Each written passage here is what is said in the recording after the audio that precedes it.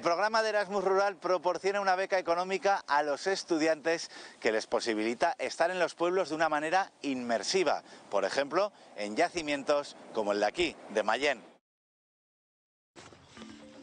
Sabina llega al yacimiento de Mayén como todos los días. Aquí está desarrollando su Erasmus Rural. Pero la verdad que está haciendo una experiencia muy gratificante. Aquí he venido a, vivir tanto lo que es el, mundo arqueológico, también la convivencia con la gente del pueblo está siendo muy buena. Todos los días nos están preguntando los de Mayén que, sale, eh, cómo estamos, cuidado con el calor, no, no bebáis de este agua, si necesitáis cualquier cosa.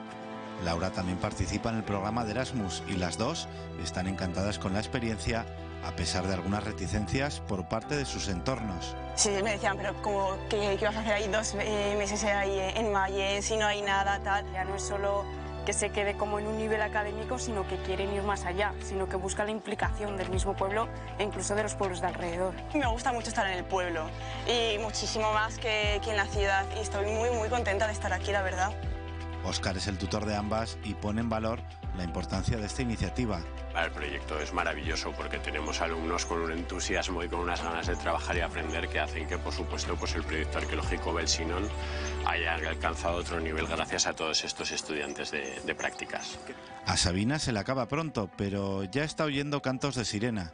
Nos la queremos quedar para nosotros todo el año. Sabemos que tiene que volver a sus estudios, por supuesto, en septiembre con, con su máster, pero vamos, nosotros encantados con su trabajo, con su entusiasmo, con todas las actividades que está desarrollando.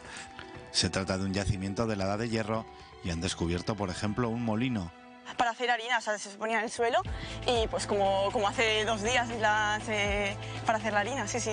Así que todos recomiendan a cualquier joven estudiante que apueste por el Erasmus rural. Es que se lance, porque aquí somos una pequeña familia todos. Tanto el Erasmus normal como el Erasmus rural son dos experiencias que todo universitario que pueda, pues que tiene que apostar por hacerlas.